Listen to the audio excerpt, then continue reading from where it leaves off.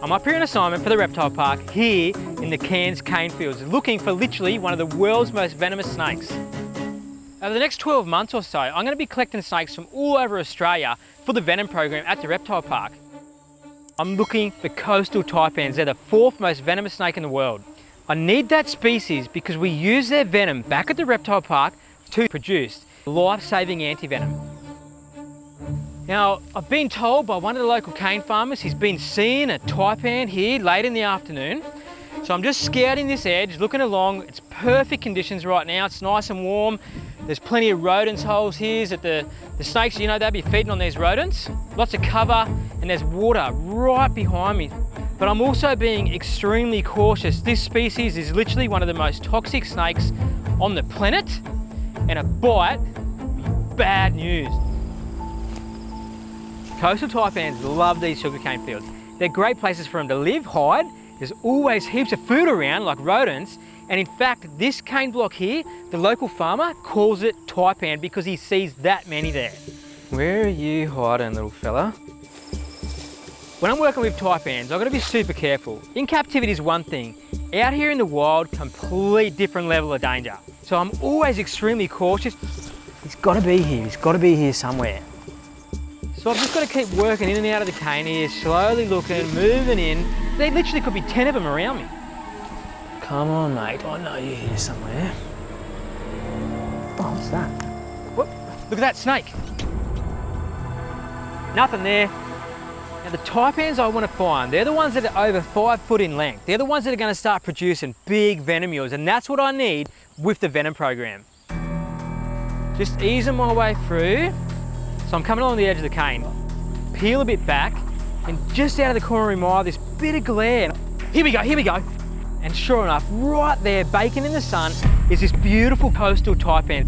This is the coastal taipan. So this, this snake here is in the top five most toxic snakes on the planet. This one's only a sub-adult. They get much, much larger than this.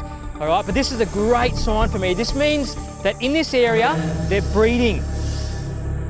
Back at the reptile park, I milk these snakes every two weeks and I need about 24 big adults before antivenom was actually around, the coastal taipan, they were called the killer of the cane field because when people got bitten by these snakes, there was a 100% chance that person was going to die. Super toxic venom, really fast acting.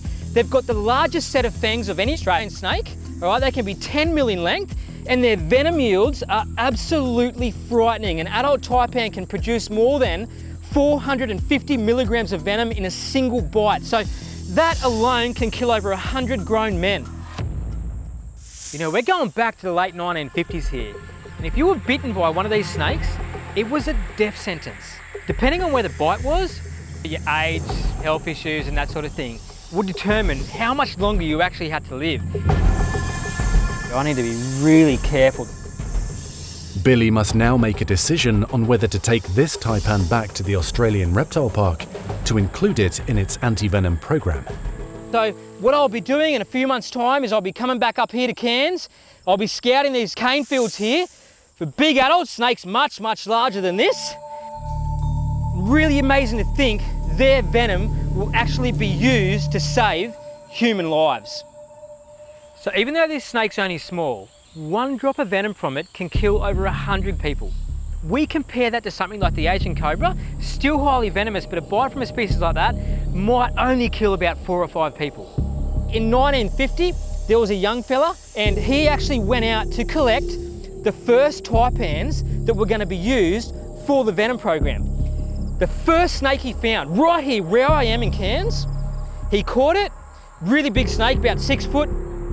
Unfortunately, it actually bit him and he died in hospital. Really, really tragic. But that snake, they milked it and they literally produced the first vials of taipan antivenom for the antivenom program here in Australia. And his legacy still lives on today.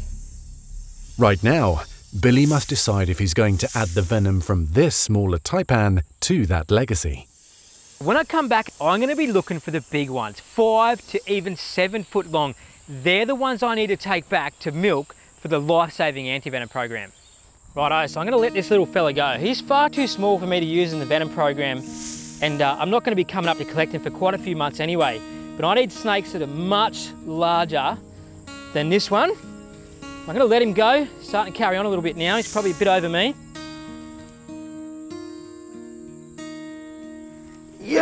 Coastal taipan, what a score. I'm absolutely stoked with that. They're literally one of my favorite Australian snakes and to come here and get one on this beautiful afternoon, I am absolutely buzzing. See you later, mate. All the best.